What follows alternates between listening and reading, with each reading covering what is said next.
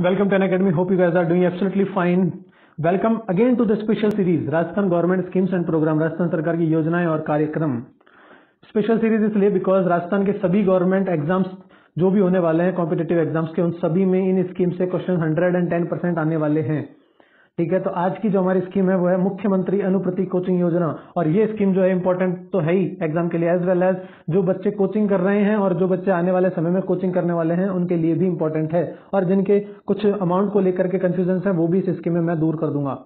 सो so, मुख्यमंत्री Anuprati coaching योजना chief minister Anuprati coaching scheme अगर अभी तक आप हमारे चैनल पर आए हैं और सब्सक्राइब नहीं किया तो प्लीज़ सब्सक्राइब कर दें और आप हमारी वीडियोस रेगुलर तौर पर देखते हैं और किसी कारणवश आप सब्सक्राइब नहीं कर पाए तो हमारी आपसे रिक्वेस्ट है प्लीज़ सब्सक्राइब कर दीजिए ताकि हमारी चैनल पर आने वाली जितनी भी इंपॉर्टेंट वीडियोज़ हैं वो आप तक पहुँच सके। उसके लिए बेलाइकन को भी क्लिक कर दें और लाइक करें हर एक वीडियो को और कमेंट में ज़रूर बताएँ कि क्या आपने इससे सीखा और क्या हमको इम्प्रूव करना चाहिए और अपने फ्रेंड्स के साथ ज़रूर शेयर करें because sharing is caring so आज की स्कीम को स्टार्ट करते हैं मुख्यमंत्री अनुप्रति कोचिंग योजना। राजस्थान लोक सेवा आयोग की परीक्षा के लिए देय राशि। जब मुख्यमंत्री अनुप्रति कोचिंग योजना है, ये किसके लिए पहले तो ये जान लीजिए। विभिन्न प्रोफेशन कोर्सेज में प्रवेश लेने तथा सरकारी नौकरी हेतु प्रतियोगी परीक्षाओं की तैयारी के लिए S C S T OBC MBC व ईडब्ल्यूएस के छात्र छात्राओं हेतु मुख्यमंत्री अनुप्रति कोचिंग योजना लागू करने की घोषणा घोषणा थी और अब लागू हो चुकी है। राजस्थान में हो रहा है पंद्रह हज़ार स्टूडेंट्स इसमें कक्षा ग्यारह, बारह के एकेडमिक सॉरी कक्षा ग्यारह नहीं, कक्षा दस है। कक्षा दस एवं बारह के एकेडमिक कोर्सेज हेतु तथा कॉलेज के अंतिम दो वर्षों में रोज़गार हेतु प्रोफेशनल कोचिंग संस्थानों के माध्यम से तैयारी कराई जाएगी। बिल्कुल क्लास टेंथ की नहीं क्लास इलेवेंथ और ट्वेल्थ की कोचिंग करवाई जाएगी। और कोच कॉलेज के बाद आप कॉम्पिटेटिव एग्ज़ाम की प्रिपरेशन करते उसके लिए कोचिंग संस्थानों के माध्यम से तैयारी करवाई जाएगी। इसमें क्रमांक से पाँच पाँच हज़ार छात्र छात्राएँ प्रति वर्ष लाभान्वित होंगे। इसको बढ़ाकर क्या पंद्रह हज़ार कर दिया गया है। हर साल पंद्रह हज़ार स्टूडेंट्स को लाभान्वित किया जाएगा। मुख्यमंत्री अनुप्रति कोचिंग योजना में अब पोर्टल पर आवेदन होगा। पेपरलेस नए प्रावधानों के साथ 15 जून से खुलेगा पोर्टल। अभ्यर्थी से ऑनलाइन आवेदन 1 जुलाई से 31 जुलाई तक आमंत्रित किए जाएँगे। आवेदन से वरीयता सूची तक प्रक्रिया होने होगी सरल, ठीक है? अब ऑनलाइन हो गया तो ऑनलाइन सिस्टम क्या थोड़ा इजी रहता है। आजकल पेपर से ज़्यादा इजी रहता है ऑनलाइन का सिस्टम अब इसमें देख लीजिए किस किस एग्ज़ाम के लिए क्या क्या दे रखा है। राजस्थान लोक सेवा आयोग की परीक्षा के लिए मतलब अगर आप बात करते हैं आर ए एस की और आर जे एस की, ठीक है? R S R J S जो भी फ़र्स्ट ग्रेड जॉब से राजस्थान गवर्नमेंट की, उनके लिए प्रारंभिक परीक्षा मतलब प्री एग्ज़ाम जो होता है प्री एग्ज़ाम अगर पास कर लेते हो तो आपको मिलेंगे पच्चीस हज़ार रुपए। प्री एग्ज़ाम पास करने के बाद कि आप प्री एग्ज़ाम पास हो गया, पच्चीस हज़ार रुपए लीजिए और मेन्स एग्ज़ाम की प्रिपरेशन भी कीजिए। इस स्कीम के थ्रू अगर आप जाते हैं तो मुख्यमंत्री अनुप्रति कोचिंग योजना के थ्रू, अगर आप इस स्कीम के थ्रू प्रिपरेशन नहीं कर रहे हैं, आपको इस स्कीम के थ्रू गवर्नमेंट एक अच्छा कोचिंग सेंटर अलोकेट करेगी और उस कोचिंग सेंटर में आपको प्रिपरेशन करनी है। उस कोचिंग सेंटर से प्रिपरेशन करने के बाद आप अगर पास हो जाते हो प्री एग्ज़ाम में तो पच्चीस हज़ार रुपए मिलेंगे। मुख्य परीक्षा में उत्तीर्ण होने पर मेन्स एग्ज़ाम दोगे, प्री एग्ज़ाम पास होने के बाद अगर उसमें पास हो जाते हो तो बीस हज़ार रुपए मिलेंगे।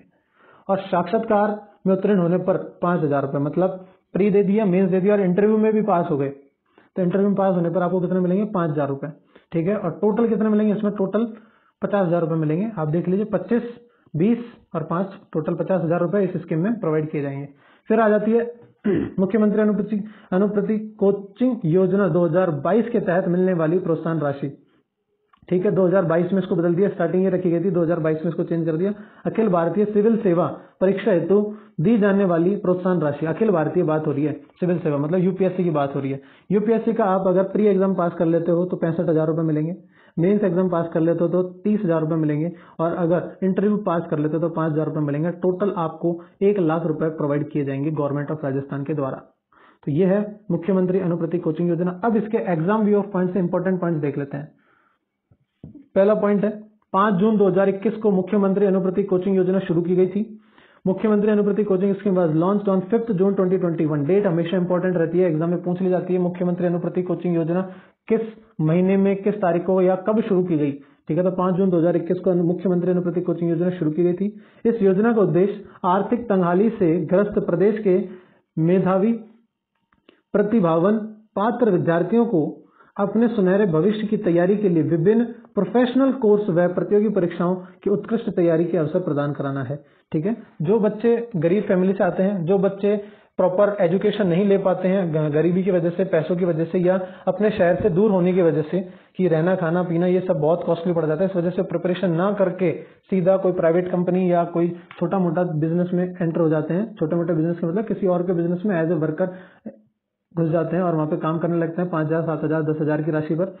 सैलरी पर। तो उनके लिए ये स्कीम है कि आप फॉर्म लगाइए, chief minister Anuprati coaching scheme में। फॉर्म लगाने के बाद में आपको गवर्नमेंट अलोकेट करेगी एक कोचिंग सेंटर और उस पर आपको फ़ीस दी जाएगी। रहना, खाना, पीना आपको दिया जाएगा। एज वेल आप अगर हर एक एग्ज़ाम का स्टेज वाइज अगर पास करते हो तो उसके बाद एक फ़ीस दी जाएगी, जिससे आपकी फैमिली आपके ऊपर प्रेशराइज ना हो कि पेपर पास हो गो छोड़ के आ जाओ तो वो नहीं करना पड़ेगा। ठीक है? The objective of this scheme is to provide opportunities for excellent preparation of various professional courses and competitive examinations to meritorious, talented, eligible students of the state suffering from financial crisis to prepare for their golden future. ठीक है? Financial crisis की वजह से गरीबी की वजह से वो तैयारी नहीं कर पा रहे थे तो वो अब तैयारी कर पाएँगे। ठीक है? पात्रता क्या है? इसकी एलिजिबिलिटी क्या है? अनुसूचित जाति अनुसूचित जनजाति अन्य पिछड़ा वर्ग अति पिछड़ा वर्ग अल्पसंख्यक एवं आर्थिक रूप से कमज़ोर वर्ग के विद्यार्थी पात्र होंगे। ठीक है? अल्पसंख्यक एवं आर्थिक रूप से कमज़ोर, जो बीपीएल के स्टूडेंट्स हैं उनको। जिनके परिवार की वार्षिक आय आठ लाख प्रति वर्ष से कम है। जिनके परिवार की आय मतलब मंथली ईयरली इनकम जो है वो आठ लाख रुपए से कम है, वो इसके लिए एलिजिबल है।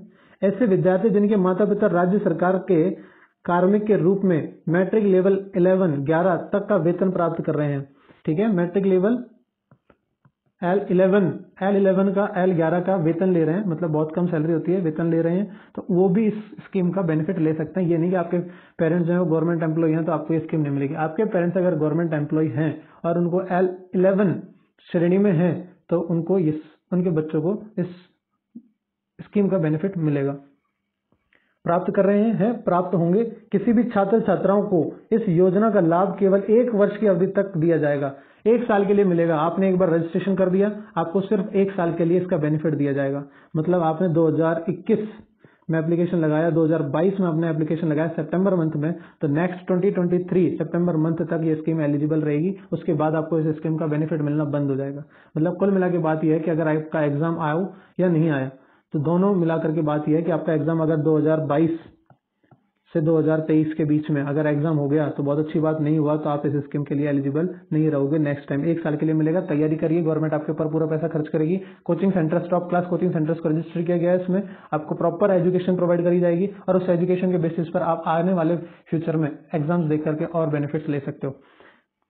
Eligibility students belonging to the scheduled caste scheduled tribe other backward classes most backward classes minorities and economically weaker section will be eligible whose annual family income is less than 8 lakh per per annum such student whose parents are drawing salary up to matriculation level 11 as state government personnel will be eligible any student will be given the benefit of this scheme for a period of one year only ठीक है अगर आपके parents L eleven श्रेणी में हैं तो आपको benefit मिलेगा एल इलेवन श्रेणी में सैलरी कम रहती है, उससे ऊपर की जो श्रेणी है, उनमें सैलरी कम रहती है तो आपको जो है इसका बेनिफिट मिलेगा इस स्कीम का।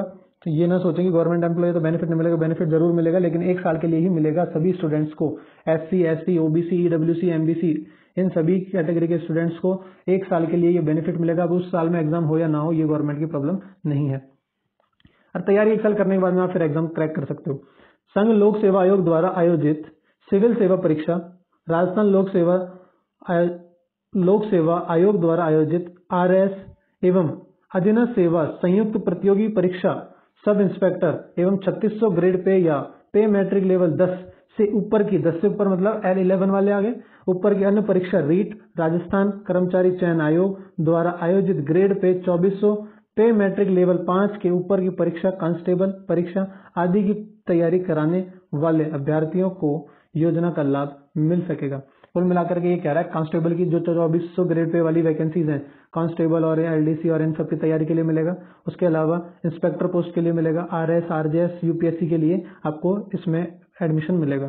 Civil services examination conducted by Union Public Service Commission UPSC R S conducted by Rajasthan state conducted by Rajasthan Public Service Commission RS exam conducted by the Rajasthan Public Service Commission sub inspector and sub inspector of subordinate services combined competitive examination, other examinations of above 3600 grade pay or pay matrix level 11 REIT grade conducted by Rajasthan Staff Selection Commission candidate preparing for the examination, constable exam, etc. above pay 2400 pay matrix level 5 will be eligible will be able to get the benefit of the scheme eligible for the scheme कुल मिला के ये बात है, constable का SI का RS का और आरएस में जो ऑर्डिनेट और सब ऑर्डिनेट सर्विसेज़ हैं, उनका यूपीएससी का एसआई का, ठीक है रीट राजस्थान कर्मचारी चयन बोर्ड के द्वारा जो भी एग्ज़ाम्स हो रहे हैं वो, उनमें आपको इस स्कीम के थ्रू प्रिपरेशन करवाई जाएगी। मतलब इसमें राजस्थान गवर्नमेंट के थ्रू करवाए जाने वाली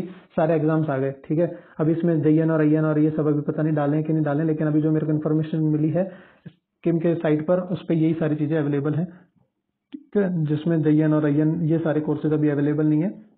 जिसमें सिर्फ़ अभी राजस्थान गवर्नमेंट एग्ज़ाम के आरपीएससी जो एग्ज़ाम कंडक्ट करवा रही है, वो सारे एग्ज़ाम्स इसमें कवर किए गए हैं। ठीक है, जिसमें ऑफिसर ग्रेड भी है कांस्टेबल ग्रेड भी है टीचर्स के लिए भी है रीट की रीट के लिए भी है।